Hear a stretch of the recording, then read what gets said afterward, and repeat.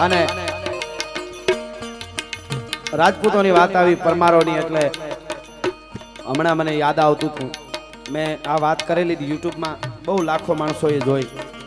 પડ્યા સભાડું પાંચસો અને હોટા વિહું સાત. એક તેતરને કારણે હળ રાખી અખિયાત.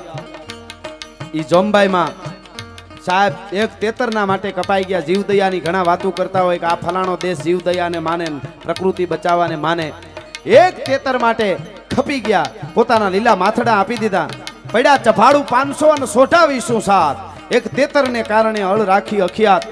પણ જોમબાઈ માની આજ ડેરી છે. મને મૂળરાજભાઈ પરમાર ત્યાં એમણે મને વાત કરેલી આપને હું કહું.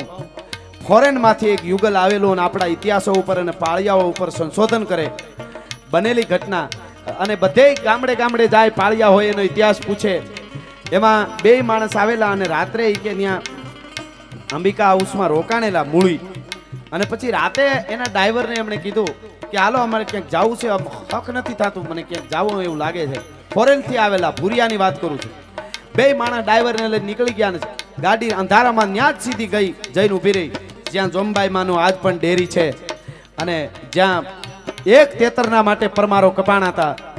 અને એ જોમબાઈ માની ડેરી, અને ત્યાં જઈને ગાડીમાંથી બે ભૂરિયા, બે માણસ ઉતરી ગયા પતિ પત્ની. ડ્રાઈવરને કીધું, હવે તું છેટ વયો જા, રોકાણા થઈને હોટેલે વયો જા.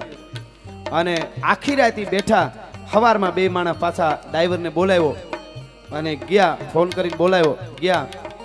અને ડ્રાઈવર એને લઈને પાછો અહીંયા આવ્યો અને ધ્રુવ કે ધ્રુવ કે બે માણસ રોતા હતા. મુરાજભાઈ પરમારે એમણે પૂછ્યું કે, શું કામે રહો છો? તો કે, તમે માનો ન માનો ખબર નહીં. એ તો ઇંગ્લિશ બોલતા હતા ધોળિયા. પણ કે તમારા જે ડેરી અમને આમ અંદર મને જેવું તેવું જોલું આવ્યું ને એટલે આ જગ્યાએ જવું એવું હુજ્યું, આફડું આફડું જગ્યા દેખાણી. એટલે ડ્રાઈવરને લઈને અમે ત્યાં ગયા અને પછી ડ્રાઈવરને પાછો મોકલી દીધો. અમે બે માણસને ત્યાં એ પાળિયાની વચ્ચે અમે બેઠા હતા અને એ ડેરીમાંથી અવાજ આવતો હતો આખી રાત પરમારોનો ઇતિહાસ અમને બે તમારા પરમારોનો આખે આખો જોમબાઈમાં એ ઇતિહાસ કીધો છે. આટલા વર્ષો પહેલાં અહીંયા આ ઘટના બની હતી. આટલા પરમારો કપાઈ ગયા હતા. અને એ ઇતિહાસ સાહેબ અમેરિકામાં જઈને ત્યાંના મેગેઝિનમાં એ વાત ભૂરિયાઓએ છાપેલી કે અમે સાક્ષી થઈ આખી રાત અમને પરમારોનો ઇતિહાસ એ પાળિયાઓમાંથી અવાજ આવતો હતો ને એણે અમને ઇતિહાસ કીધો તો સાહેબ, આજ પણ જોમબાઈમાની ત્યાં ડેરી છે.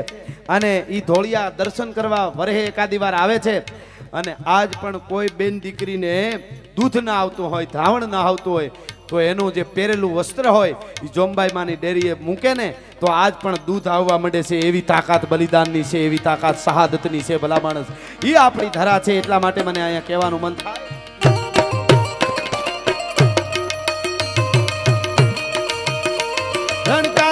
રાજપૂત ચડે વહીદાર ખડે મન સોચ મેરા મોહ બડાઈ શિકાર ખડા પીર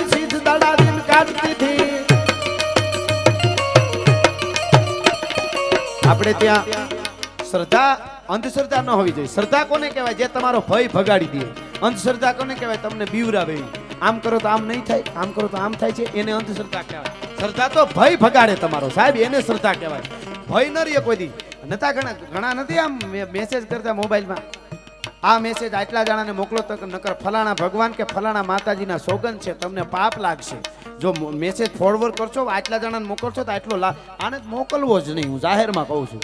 મારા મોબાઈલમાં કોઈ એવો મેસેજ આવે ને કે આ નહીં મોકલો તમને માતાજી ભૂકા કાઢી નાખશે, મોગલ આમ કરી નાખશે એની એની ડિલેટ જ એની મિનિટે કરી નાખવાનું. ભલે અમને મોગલ કાં મોગલ અમારી નથી?